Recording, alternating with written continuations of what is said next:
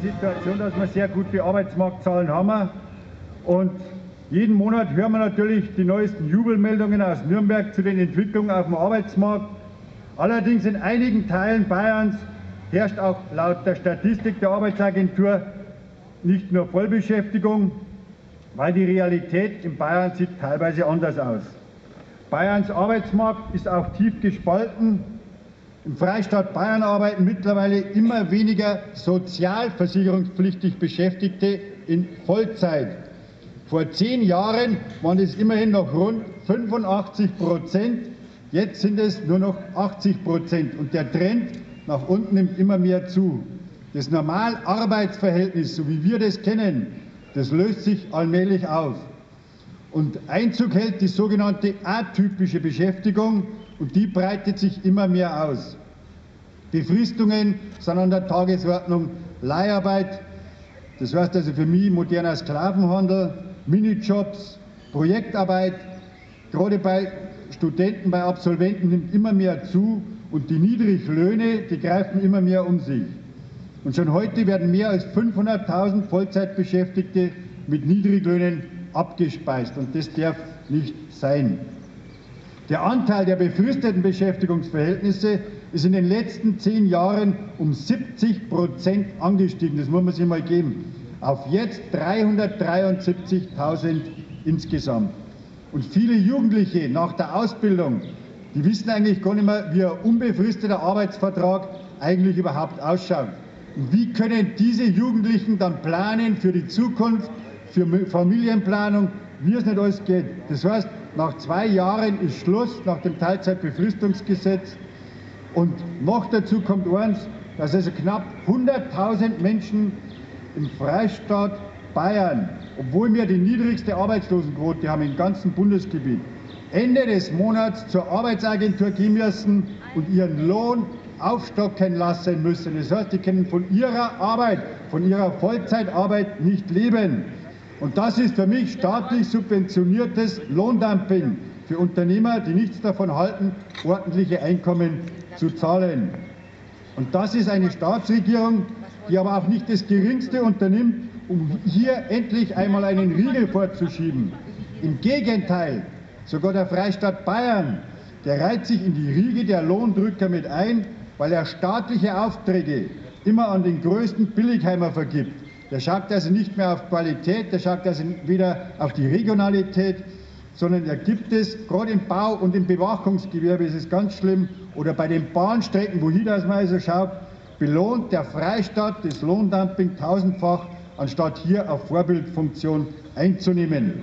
In der Stadt Pfaffenhofen haben wir das allerdings nicht gemacht. Wir machen Ausschreibung nach der Wirtschaftlichkeit und nehmen nicht nur den billigsten, sondern der, der am wirtschaftlichsten ist und der für unsere regionale Wirtschaft dann auch von günstig ist. Auch die Zahl der Minijobs in Bayern ist gestiegen zwischen 2003 und 2011 um ca. 950.000, also gut fast 1,2 Millionen. Das ist eine Steigerung von 28 Prozent. Und diese Minijobs, die greifen immer mehr um sich. Es ist ein weiterer Niedriglohn und zwar ein extremer Niedriglohnsektor entstanden und die Minijobs in meinen Augen bieten also gar keine Perspektive, wie es am Anfang einmal gedacht war, dass man gesagt hat, die Minijobs sollen also dann in den ersten Arbeitsmarkt übergehen und dann eine gewisse Sicherheit auf Dauer bringen. Und das ist nicht der Fall. Da hat sich die damalige Regierung also auch verspekuliert. Das war, muss ich zugeben, Rot-Grün, die das auf den Weg gebracht haben. Aber das war ein Weg in die Altersarmut. Und das ist der Anfang und gleichzeitig das Ende fordern wir natürlich dieser Armutsfalle. Doch anstatt die Minijobs stärker zu regulieren, hat jetzt dann die nachfolgende Regierung die Verdienstgrenze von 400 auf 450 Euro angehoben.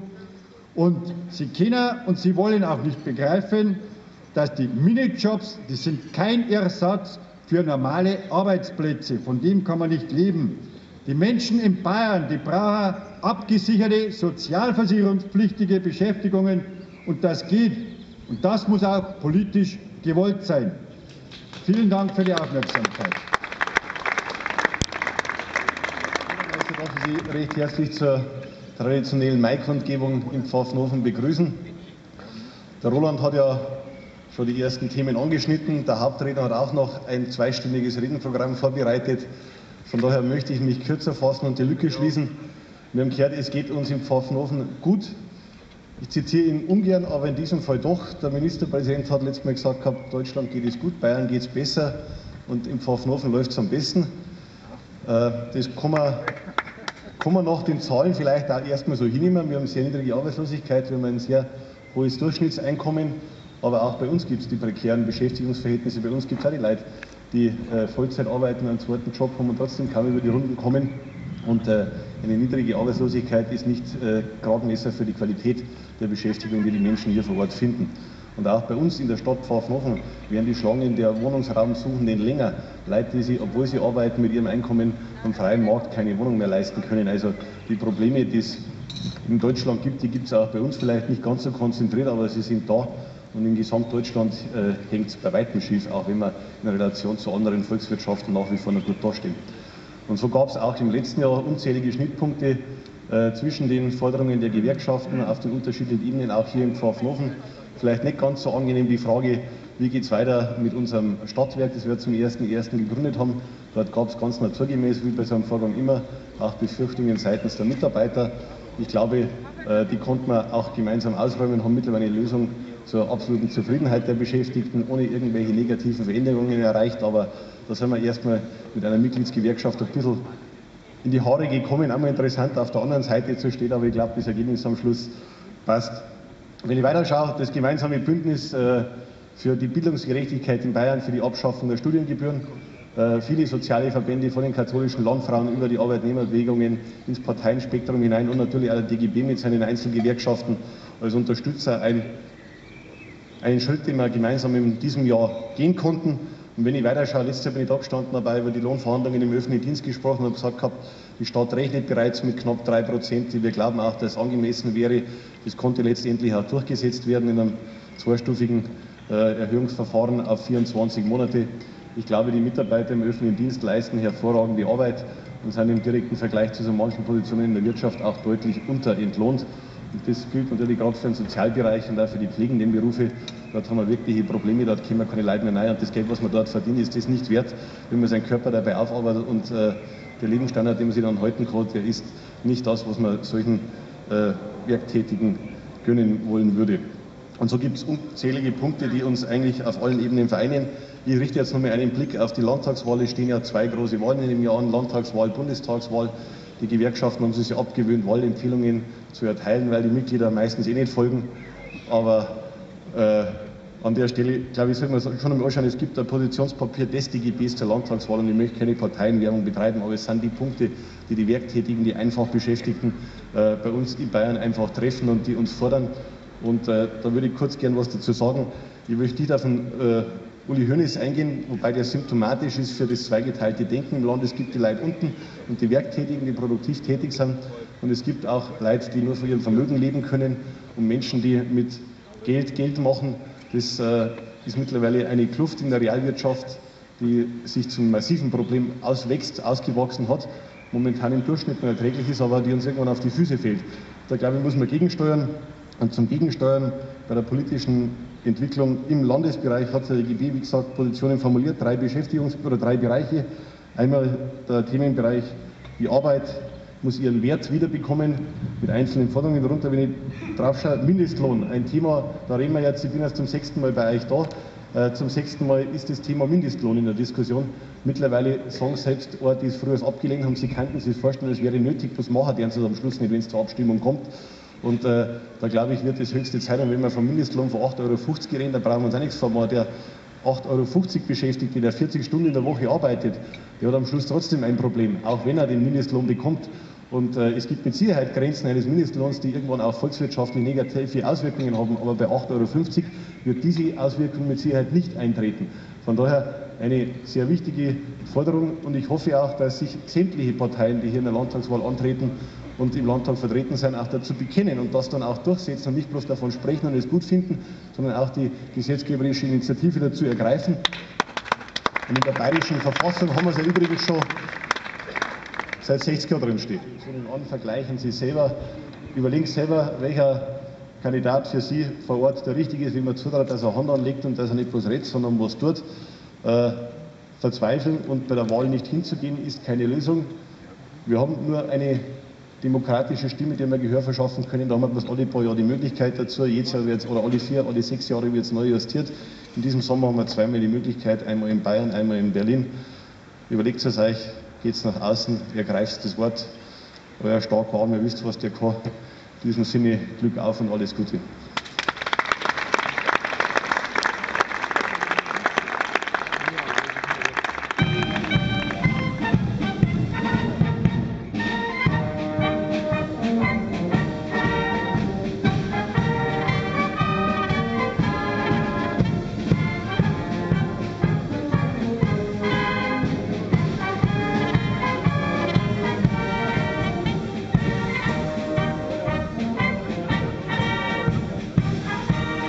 Nachdem die Führung des ADGB die Nationalsozialisten gewähren ließ, den 1. Mai als Feiertag der nationalen Arbeit zu inszenieren, besetzten und verwüsteten tags darauf die Schlägerkommandos der SA im ganzen Land die Gewerkschaftshäuser, die Büros und Wohnungen der Funktionäre. Viele aufrichtige Gewerkschafterinnen und Gewerkschafter wurden verhaftet, verschleppt, gefoltert und ermordet. Unter ihnen Georg Oberhäuser. Georg Oberhäuser, der Eisenbahner, der sozialdemokratische Gewerkschaftssekretär der ersten Stunde in Ingolstadt, der Unermüdliche, der sich nicht brechen ließ und sich nicht einschüchtern ließ. Zweimal verhafteten sie ihn und brachten ihn nach Dachau in sogenannter Schutzhaft. Erst 1933, sofort nach der Machtergreifung und noch bevor die SA-Schergen gewaltsam das Gewerkschaftshaus Haus in der Eselbräustraße, die heute den Namen Oberhäusers trägt und die da etwa diese kleine Straße an der Galeria Kaufhof ist, stürmten. Und dann noch einmal 1944. Bei der Reichsbahn schmissen sie ihn raus. Eine Arbeit als Hausierer von Putzmitteln verweigerten sie ihm. Er hatte Glück, er überlebte. Und er machte sich unmittelbar nach der Befreiung durch die alliierten Truppen an das Vermächtnis eines anderen bayerischen Gewerkschaftsführers, der die Diktatur der Nazis nicht überlebte. Er arbeitete an dem Vermächtnis welches Wilhelm Leuschner am Abend, bevor ihn die Nazis an den Galgen hängte, uns allen mit auf den Weg gegeben haben, als er aussprach, morgen werde ich gehängt, schafft die Einheitsgewerkschaft. In vielen bayerischen Städten, unter anderem in Ingolstadt, Regensburg und Landshut, wird der DGB morgen in Gedenkveranstaltungen an die Erstürmung der Gewerkschaftshäuser am 2. Mai erinnern. Alle sozialen Sicherungssysteme in Europa niederreißen. Die Agenda 2010 endete in der BRD 2010, weil sich offensichtlich aus den Lohnabhängigen, den Rentnern, den Arbeitslosen nicht mehr herausschlagen ließ. Ihre Fortsetzung findet sie derzeit europaweit. Die Agenda Merkel für Europa ist schnell beschrieben und lautet Lohnverzicht europaweit, Rentenalter erhöhen europaweit, Arbeitslose schikanieren europaweit, Kündigungsschutz abbauen europaweit, Leiharbeit ausbauen europaweit, Kranken- und Pflegeversicherung privatisieren europaweit, Steuerhinterziehung legalisieren europaweit, Bildung privatisieren europaweit, Gewerkschaften schwächen europaweit. Das ist das, was Merkel mit der neoliberalen Politik in ganz Europa vollführen will. Verlaufen nicht entlang der Nationalstaaten. Den Lohnarbeiter bei Peugeot quälen die gleichen Nöte wie den in der Audi und noch mehr bei Opel in Bochum. Und die Industriereinigungskraft bei Peugeot oder bei Citroën und bei Opel und in der Audi, die die Flure der Vorstandsetagen nach Quadratmeterpreisen im Akkord putzen muss, und am Ende nicht das Existenzminimum trotz Arbeit hat, die unterscheidet nichts, aber auch nichts voneinander, außer der Nationalitäteneintrag im Personalausweis. Die Grenzen verlaufen nicht zwischen den Nationen. Sie verlaufen zwischen denen, die Arbeit schaffen und denen, die die Arbeit anschaffen. Und alles andere ist Klassenkampf und immer mehr Menschen ein Zweitjob, um über die Runden zu kommen. 4.609 Berufstätige waren hier im vergangenen Jahr auf einen Minijob als zusätzliche Einnahmequelle angewiesen. Blickt man zehn Jahre zurück, so handelt es sich dabei um eine Steigerung in Höhe von 142 Prozent. Liebe Kolleginnen und Kollegen, ich weiß, wovon ich rede. Ich spreche ja viele Kolleginnen aus den Niedriglohnsektoren dieser Republik an, weil wir sie als Gewerkschaft NGG vertreten. Da ist die Fleischindustrie, die Gastronomie, das Fleischer- und Bäckerhandwerk oder das Beherbergungswesen und eines, das dürfte mir getrost bleiben, Glauben aus purer Lust an einer 55 oder 60 Stunden Woche macht das von denen, die ich kenne, keiner. Die Leiharbeit griff in den letzten Jahren immer weiter um sich.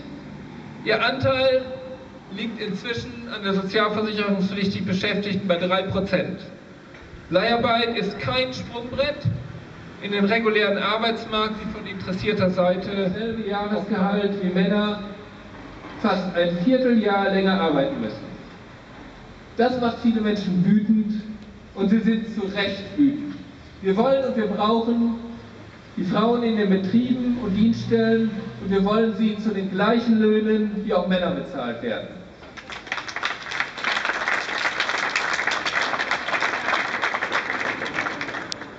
Die Steuer, von der wir gerade reden. Hätte man alles gelassen, wie es ist, während dadurch legt man die Steuereinnahmen 2008 zugrunde, seitdem ca. 19 Milliarden Euro mehr zur Verfügung gewesen. Damit hätte man die Erzieherinnen in diesem Land gescheit bezahlen können. Aber damals hat nun einmal der damalige Finanzminister argumentiert, ihr wisst noch, wer das war, Herr Steinbrück, besser 25% auf X als 42% auf nix. Ein flotter Spruch. Hinter dem sich verstecken ließ, dass die einen weitreichende Amnestieregeln erhalten, wenn sie ihre Steuermillionen uns entziehen, währenddessen der ALG II-Bezieher als Sozialschmarotzer denunziert wird und seine Leistung gekürzt bekommt, wenn er einen Termin im Jobcenter verpasst. Das, liebe Kolleginnen und Kollegen, ist gelebte Reichtumspflege zugunsten Steuerflüchtiger. Ich habe jetzt einiges, nicht alles skizziert und ich will hier nicht enden mit diesem Pathos, es sei alles schlechter geworden. Man könne nichts machen, es sei nichts zu tun, die Solidarität habe abgenommen und das ganze Gegreine und Gejammere von Leuten, die sich entweder eingerichtet haben oder die auf der anderen Seite aufgegeben haben. Wenn ich durch meine Betriebe gehe, dann erlebe ich so viele Geschichten von Solidarität, vom Zusammenstehen, vom Erreichen auch. Und diese Geschichten sind die, die wir uns weitererzählen müssen. Ihr habt das ja in der Presse auch hier lange verfolgt. Ich hatte das Vergnügen, einen ziemlich aufwendig geführten und auch mit viel Herzblut bestrittenen Kampf im Rasthaus Holledau darüber zu führen, ob nun die Herren Förster, die beiden neuen Geschäftsinhaber nach der Insolvenz, einen Betriebsrat dulden oder nicht dulden. Und was die Menschen dort durchgestanden haben, war nicht vom Pappe. Drei Kündigungen der Betriebsratsvorsitzenden, zwei Verfahren Abschaffung des Betriebsrates, 17 Verfahren vor dem Arbeitsgericht. Und ich habe immer gesagt, wir können prozessieren, wie wir wollen. Wir werden diese Auseinandersetzung nicht vor dem Arbeitsgericht gewinnen, sondern wir werden sie betriebspolitisch gewinnen oder betriebspolitisch verlieren. Und die Belegschaft in der Holledau hat eines gemacht. Sie hat sich von ihrem Betriebsrat nicht verabschiedet, sondern sie hat ihren Betriebsrat unterstützt. Von der ersten in eure Betriebe und bewahrt euch die alte Melodie aus den Anfängen der Industrialisierung, die von ihrer Gültigkeit, aus meiner Sicht zumindest, noch nichts eingebüßt hat. Sie lautet, Mann oder meinetwegen gerne auch Frau der Arbeit, aufgewacht und erkenne deine Macht. Alle Räder stehen still, wenn dein starker Arm es will. Euch allen, euren Familien wünsche ich einen schönen und erholsamen 1. Mai. Glück auf!